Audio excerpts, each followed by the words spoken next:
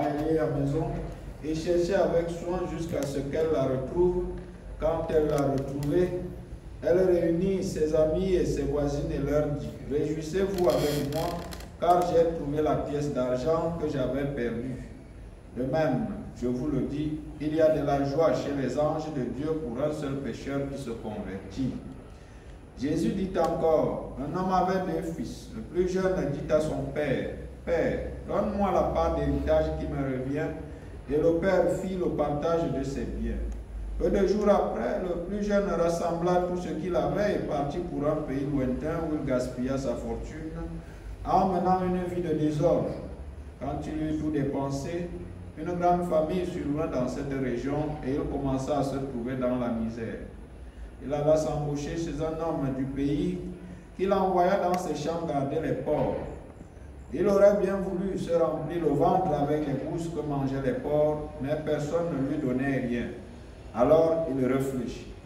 Tant ouvriers chez mon père ont du pain en abondance et moi, ici, je meurs de faim.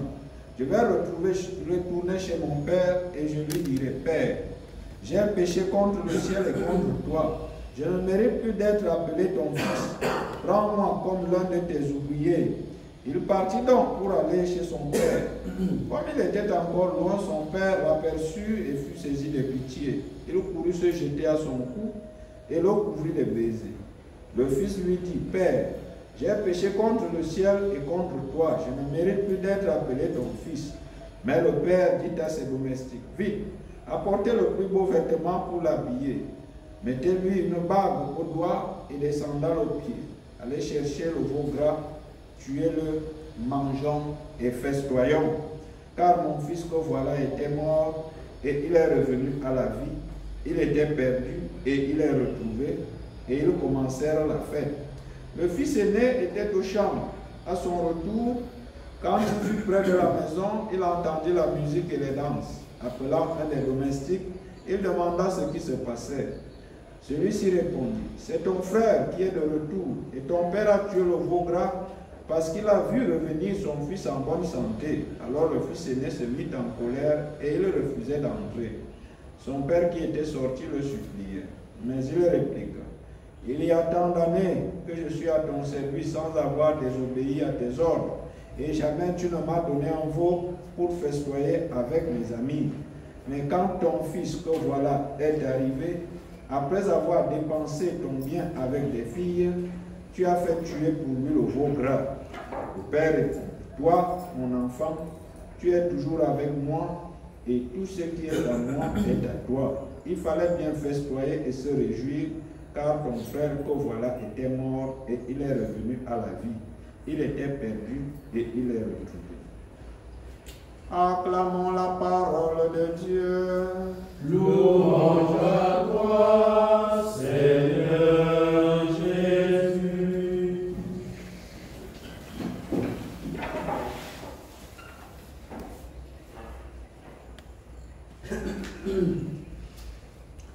Chers frères dans le Christ, la parabole de l'enfant prodigue nous livre l'histoire d'un jeune homme qui vit sous la case parentale. Il ne souffre pas, mais improvisamment, il décide de partir de la maison, de divorcer avec son père, de ne plus être sous son contrôle et réclame sa part d'héritage du vivant même de son père. En Afrique, les problèmes d'héritage se posent après la mort du père. Les posés du vivant du père serait souhaiter précipiter la mort de son père. Ce serait pousser le père vers une mort précoce. Voilà le drame de notre siècle. Voilà le drame de notre jeunesse.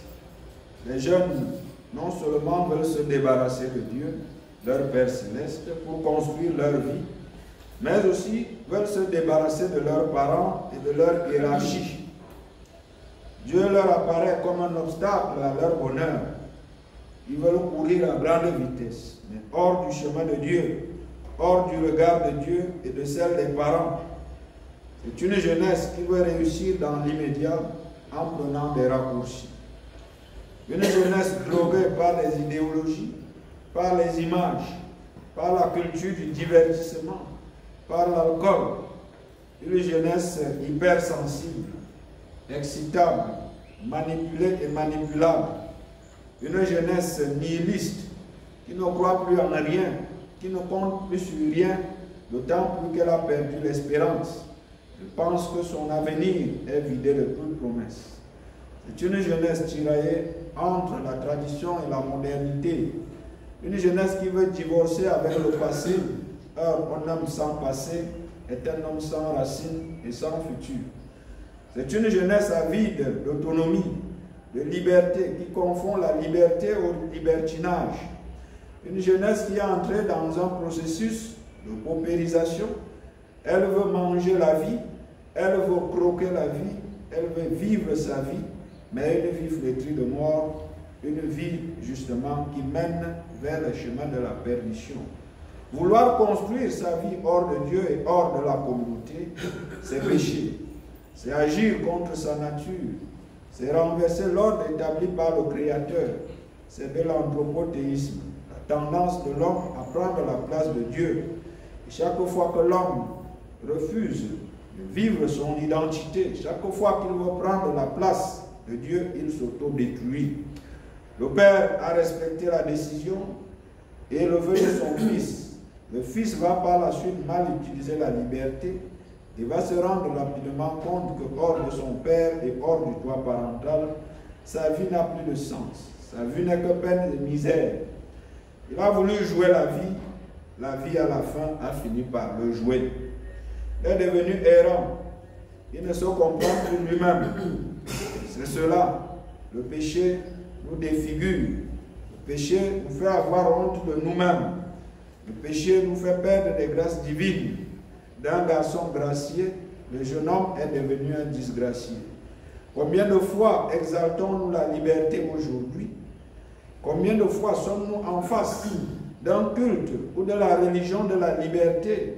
Combien de fois voulons-nous nous couper de la tête, donc de Dieu, notre Père, de nos parents, de notre évêque, de nos recteurs, de nos curés, même de notre communauté pour vivre notre vie à nous. Combien de fois voulons-nous vivre comme des monades, des îlots, des solitaires, en créant nos propres petits diocèses, nos propres petites paroisses, nos petites communautés propres? Combien de fois gaspillons-nous les dons reçus de Dieu au point de compromettre notre identité et notre vocation, au point de traîner notre vocation dans l'amour? Jeune homme fait un examen de conscience. Il a l'humilité de reconnaître sa faute et de revenir à sa racine. Il vit la métanoïa, changement de manière de voir, de manière de penser, de manière d'agir. Il se retourne, change de direction, car la tangente qu'il a prise n'était pas la bonne. Ce temps de retraite est un temps d'écoute et de révision de sa conscience. Ce temps de retraite est également un temps où on veut se réconcilier avec Dieu, avec nous-mêmes, avec le monde qui nous entoure, parce que nos péchés contaminent l'air que nous respirons. Nos péchés contaminent également notre entourage. En Afrique, la vie est participative. Elle passe dans la communion et la liaison avec les autres. Chaque vie individuelle est en relation symphonique et symbiotique avec les autres. L'égoïsme est condamné ici. Celui qui veut thésauriser, celui qui veut accumuler pour lui-même est suspecté. Il est accusé puis rejeté par le groupe comme une menace grave. Il est dangereux voire nuisible pour la vie des autres. Il est justement quelqu'un qui est en danger. Et parce qu'il est en danger, justement, il est suspecté. La considération sociale passe par la redistribution et non l'accumulation des biens. Pour cela, être, c'est être avec. Vivre, c'est aussi vivre avec. L'enfer ici, ce n'est pas les autres, mais l'enfer, c'est l'absence des autres. Là où règnent donc les bonnes relations humaines, la vraie vie existe à ce niveau. Seule la vie individuelle dépérit. Sommes aujourd'hui dans une société du chacun pour soi et du chacun chez soi. Une société justement qui a renié les valeurs anthropologiques africaines de la solidarité, de l'hospitalité et aussi le respect de l'aîné, le respect du père. Cette crise que nous vivons aujourd'hui de la paternité et même de la fraternité naît du fait que nous refusons la figure du père dans notre vie. Et les hommes et les femmes qui refusent d'accepter la figure du père dans leur vie peuvent difficilement vivre comme des frères. Cette parabole du Père miséricordieux révèle la bonté infinie de Dieu qui, par la parole de Jésus, nous, invite au repentir, source de joie pour Dieu comme pour le converti. Nous sommes des enfants prodigues. Nous sommes les mendiants de la miséricorde de Dieu. Nous sommes venus donc aujourd'hui dans cette célébration pour mendier son baiser de paix. Un Dieu qui nous aime, nous appelle à nous réconcilier avec lui, avec nous-mêmes, mais aussi avec l'humanité. À travers ce sacrement, nous venons accepter, nous venons reconnaître que nous sommes un nul et nous en faisons l'expérience. Nous acceptons les humiliations de la vie et nous en éprouvons la joie. La vie faite d'idéaux et de contradictions a besoin du pardon comme expérience d'amour et de miséricorde.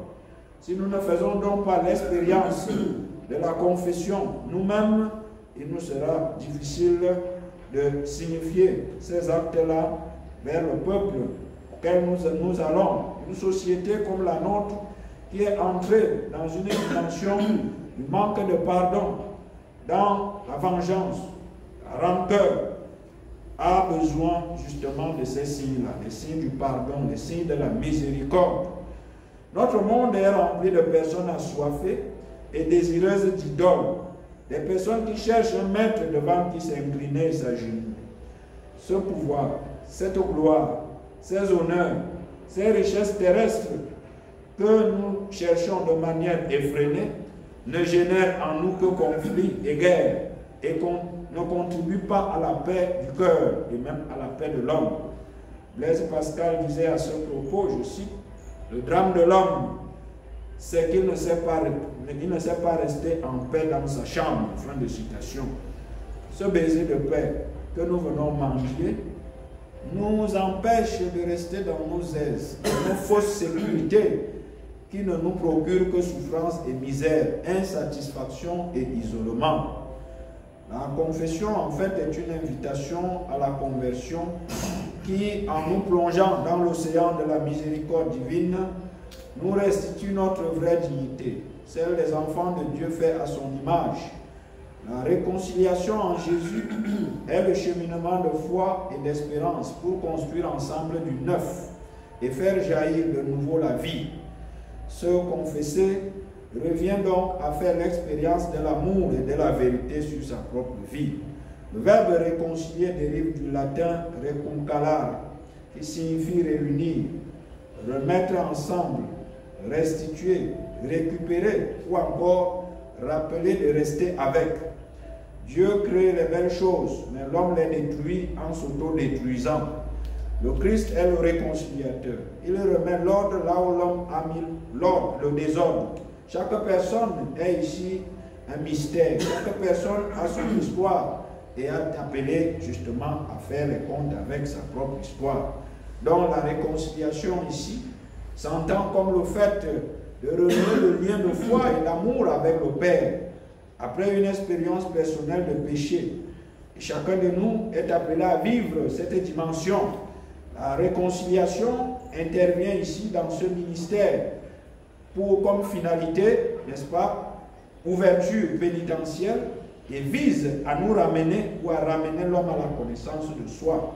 Ça vise à ramener l'homme au renoncement au mal, au rétablissement de l'amitié avec Dieu, à la remise en ordre intérieur, à la nouvelle conversion ecclésiale.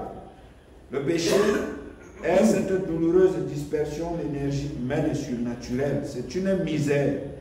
Aujourd'hui donc, nous sommes appelés à redécouvrir la beauté de ce sacrement, miséricorde. Là où Dieu nous donne le pardon, là où Dieu justement efface nos péchés. Et ici, chacun de nous va se réconcilier avec lui-même, va se réconcilier avec qui il a offensé, il va se réconcilier avec qui il a blessé, mais aussi par charité, il va travailler pour la conversion du monde. As-tu péché? nous demande Saint Jean Chrysostome. Alors confesse à Dieu, j'ai péché. Dénonce ton péché.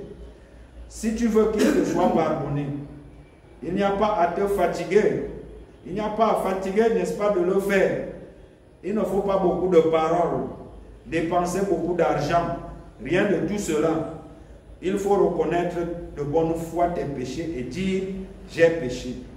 Demandons donc au Seigneur de nous apprendre à rester dans la maison du Père, à avoir l'humilité de reconnaître nos péchés et de retourner à la source chaque fois que nous aurons gaspillé toutes les grâces que le Père nous aura données. Demandons au Seigneur de nous amener à savoir pardonner et aussi à savoir fêter notre réconciliation. Loué soit Jésus-Christ.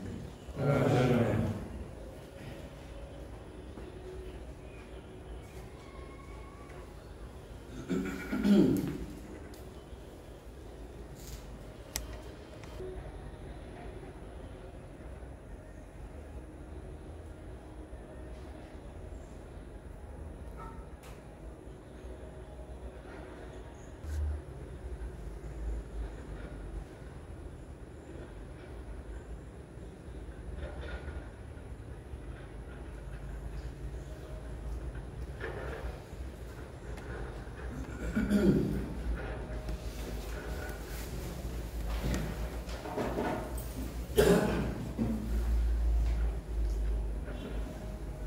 Avec confiance, tournons-nous vers le Christ. Par amour pour nous, il est entré librement dans sa passion et a connu la mort pour nos péchés et ceux de tous les hommes, afin que tous soient sauvés. En lui, nous pouvons mettre notre espérance. Nous répondons, vois notre misère, daigne avoir pitié. Vois notre misère, daigne avoir pitié. Christ, le Fils du Père, qui vint pour sauver ce qui était perdu. Vois notre misère, daigne avoir pitié. Toi dont la tendresse ne repoussait pas le cri du malheureux. Vois notre misère, daigne avoir pitié. Toi, l'ami des hommes, qui ne craignait pas de partager leur pain. Vois notre misère, daigne avoir pitié. Toi qui sais poursuivre la brebis perdue, errante dans la nuit. Vois notre misère et avoir pitié. Toi que le prodigue trouvera toujours au bout son chemin. Vois notre misère, daigne avoir pitié. Toi dont la présence apaisait soudain la mer et les démons. Vois notre misère, daigne avoir pitié. Toi dont Madeleine, par son repentir, a su toucher le cœur. Vois notre misère, daigne avoir pitié. Toi dont la promesse ouvrit au larron la joie du paradis. Vois notre misère, daigne avoir pitié. Toi dont la parole fit lever Lazare au fond de son tombeau. Vois notre misère, daigne avoir pitié. Toi dont la puissance a cloué la mort sur l'arbre de la croix. Vois notre misère, daigne avoir pitié. Maintenant, comme le Christ lui-même nous l'a ordonné, prions ensemble le Père pour qu'il nous pardonne nos péchés, comme nous-mêmes nous pardonnons les uns aux autres.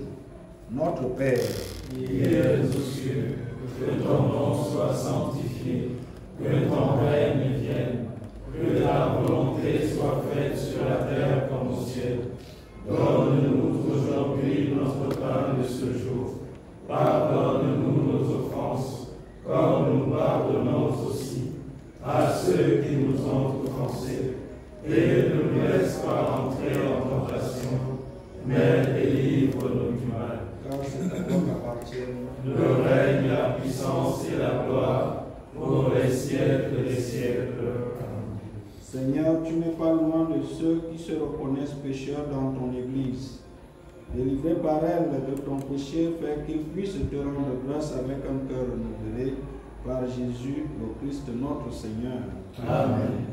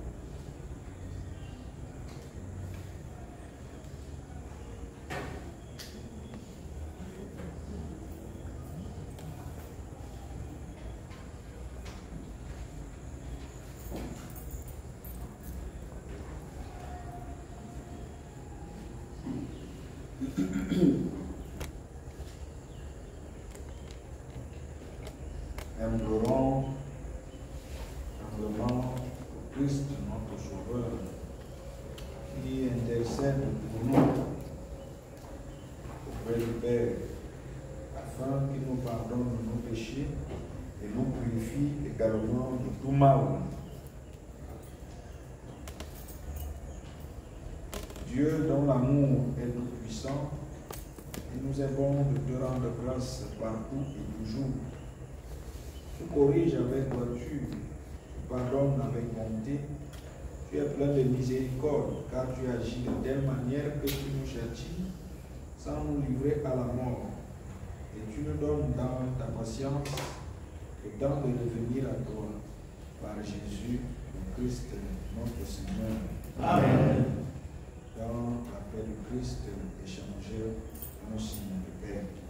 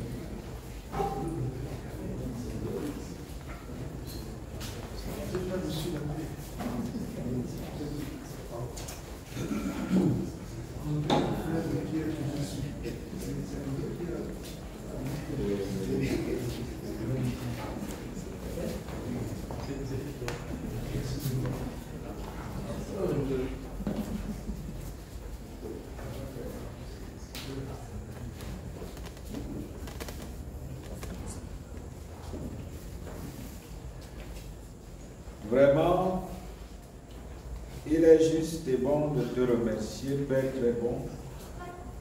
Toi qui renouvelles toujours les gestes de tendresse et de ta miséricorde. Voici que nous a été donné le signe de ton pardon.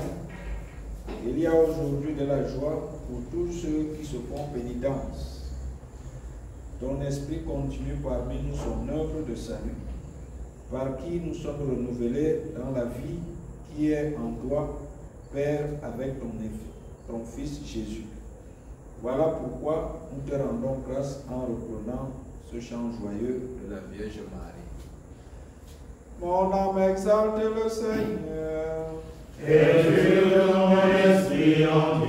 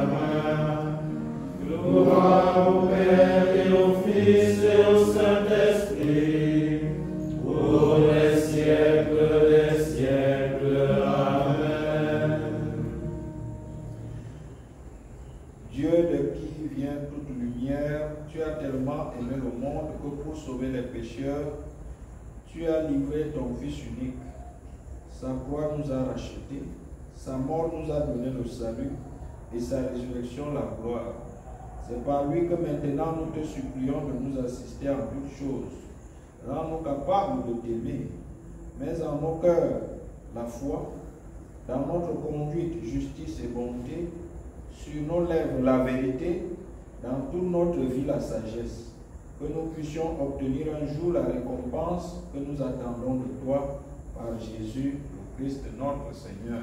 Amen. La bénédiction finale et après chaque invocation, nous répondrons Amen. Le Seigneur soit avec vous. Et avec votre esprit. Que le Père nous bénisse, lui qui nous a engendrés à la vie éternelle. Amen. Que le Fils nous donne le salut, lui qui est mort et ressuscité pour nous. Amen. Que l'Esprit nous sanctifie, lui qui a été répandu dans nos cœurs et nous a conduits sur la route droite. Amen. Et que Dieu Tout-Puissant vous bénisse, le Père, le Fils et le Saint-Esprit. Amen. Allez témoigner de l'amour de Dieu dans la paix et la joie du Christ. Nous rendons grâce à Dieu. Nous allons laisser le Saint-Sacrement là. Pour ceux qui voudraient continuer à méditer devant le Saint-Sacrement, il va rester là. Nous viendrons, nous ferons le chapelet, les verbes, et après les verbes, on va ramener le Saint-Sacrement.